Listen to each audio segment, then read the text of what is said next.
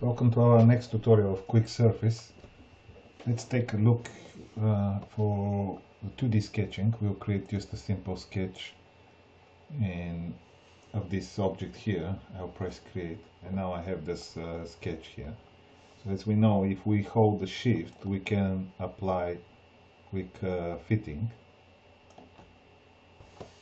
Also what you can do, you just click on this and instantly it offers you to convert to circle.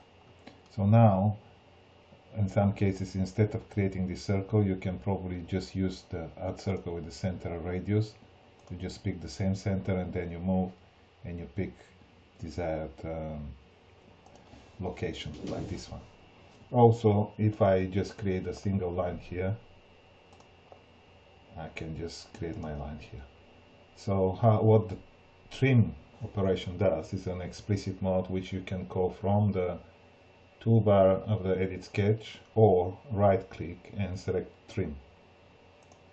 The trim is just cutting and throwing away the parts of your sketch. You just the way it works, you just hold your left mouse button and you start painting. As you paint you see a line and then you can go through the sections which need to be removed. So I will just slide it and instantly it's removed. In this case I just remove this one. You can lift your mouse and zoom if you want and then you can just paint something to be removed. Of course, always you can press Ctrl Z to undo or right click and undo.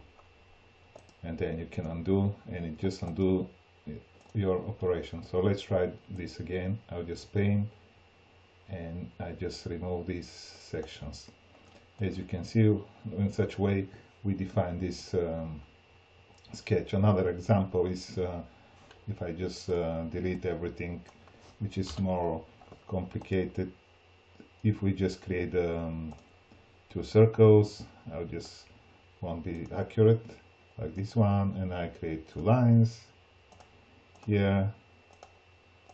You can apply the same operation. Let's try to make another circle here. And now I can just select trim and start removing what I don't need something like this one probably internal areas.